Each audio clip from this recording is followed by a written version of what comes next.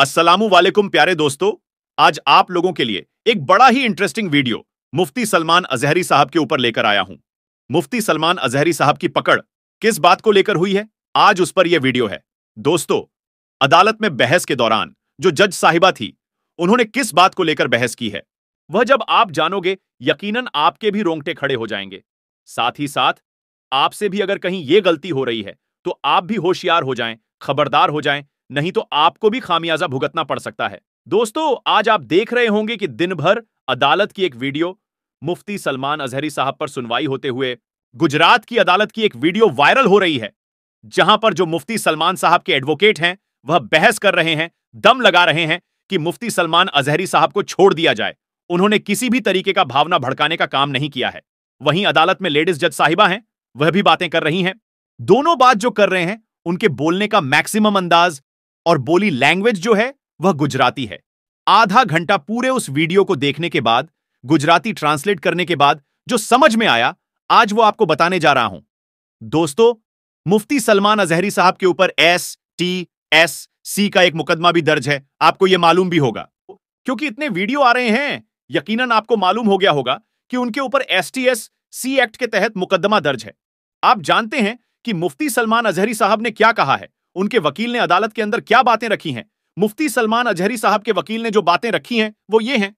उन्होंने जज साहिबा से कहा कि मैडम साहिबा मुफ्ती सलमान अजहरी जो हैं, वह मुफ्ती है। इस पर जज साहिबा बोलती हैं हु इज़ मुफ्ती? यानी मुफ्ती कौन होता है? क्या होता है मुफ्ती? इस पर वकील साहब यह कहते हैं कि जो मुफ्ती होते हैं, वह कोई ऐरा गैरा नहीं होते हैं। बल्कि एक तरह से समझिए कि पीएचडी की डिग्री रखने वाले, डॉक्टरेट की डिग्री रखने वाले होते हैं इस्लामिक में। यानी हायर एजुकेशन के मालिक होते हैं, वह मुफ्ती होते हैं। मुफ्ती का डेफिनेशन इस तरीके से अदालत में रखा जाता है। उसके बाद मुफ्ती सलमान अजहरी साहब के वकील कहते हैं कि मेरे मुवक्किल पर जो S T S C act लगा दिया गया है, वह किसी की भावना को आहत नहीं करना चाहते थे, बल्कि उनका कहना था कि आज मुसलमानों की जो स्थिति है, वह दलितों से भी नीचे है। अब इसी चीज़ पर मुफ्ती सलमान अजहरी पकड़े गए हैं। उनकी गिरफ्तारी की असल वजह जो है, यही चीज़ है।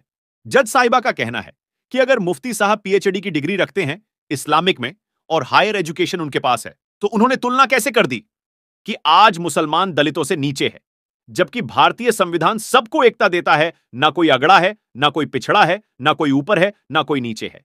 भारतीय संविधान सबको एक मानता है, एक ताकत, एक अधिकार देता है। तो उन्होंने यह बात कैसे कही? अगर मुसलमान को ही कही कि वह दलितों से भी नीचे हैं तो उन्होंने तुलना क्यों की एस से?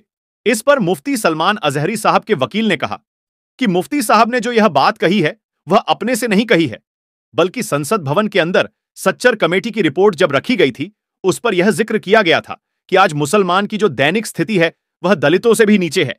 यह बात वकील साहब ने कही और कहा कि मेरे मुवक्किल ने यह कहा है, किसी को ऊपर नहीं कहा है, बल्कि वह खुद अपने आप को नीचे कहा है कि हम लोगों की जो स्थिति है, वह नीचे है। इस पर फिर से जज साहिबा ने कहा कि उन्होंने फिर कंपैरिजन क्यों की? तुलना क्यों की? और यही बात मुफ्ती साहब के लिए फांस बन गई है। और जो मुफ्ती साहब को अभी तक बेल नहीं मिल रही है, इसकी सबसे बड़ी वजह, सबसे बड़ी बात यही है।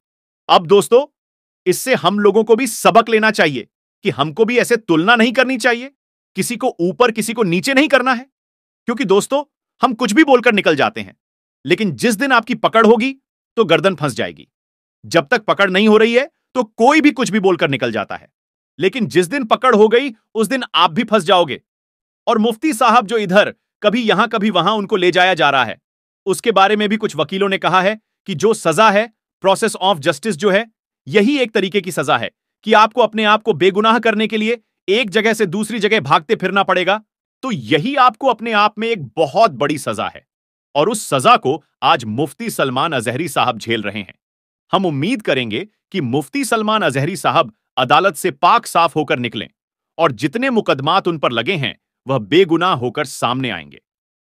आप लोगों से भी गुजारिश है कि आप लोग भी अपने शब्दों को सोशल मीडिया में रखते समय, फेसबुक वीडियो या कहीं भी जनसभा में बातें रखते समय आप सतर्कता बरतें। क्योंकि दोस्तों, जज साहिबा ने यह भी कहा कि कोई अगर अकेले बात करता है तो वह अलग बात है।